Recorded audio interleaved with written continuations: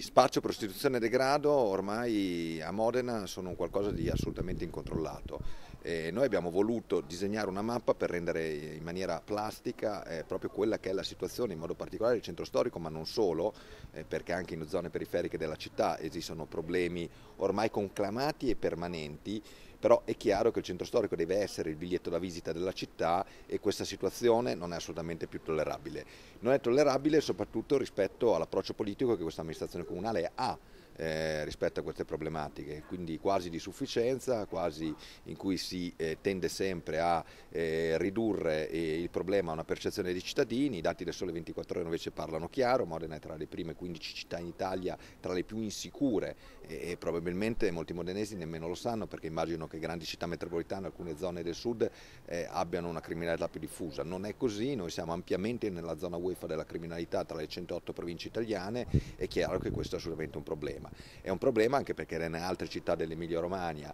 eh, le situazioni migliorano, a Modena invece la situazione peggiora, sia come numero di eh, furti denunciati, come numero di furti in appartamento siamo in, nei, tra i primissimi posti, siamo in zona Champions League, sempre per usare una metafora calcistica, e così per il riciclo di denaro. È chiaro che su questo serve un'attenzione maggiore e serve un coinvolgimento maggiore, di maggior collaborazione con le forze dell'ordine che non sono in grado e non sono messe nelle condizioni di poter lavorare al meglio. Pensate solo che a Modena 40 agenti sono dedicati ai permessi di soggiorno e quindi all'ufficio immigrazione e soltanto 7 al, controllo del narcotraffico. Questa situazione non è più tollerabile il PD si riempie la bocca di eh, portare la eh, questura di Modena in fascia A che comporterebbe un maggior numero di agenti, il tema non è neanche quello, più che altro perché il loro governo li ha smentiti più volte dicendo che questa possibilità non è assolutamente nelle corde del governo. Ci basterebbe che quel famoso patto della sicurezza firmato in pompa magna dal sindaco Muzzarelli e dall'allora ministro degli interni e suo collega di partito Minniti venisse applicato.